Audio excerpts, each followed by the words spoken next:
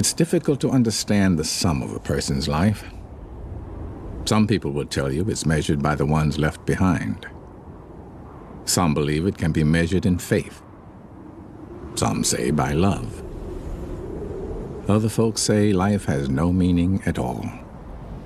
Me, I believe that you measure yourself by the people who measured themselves by you.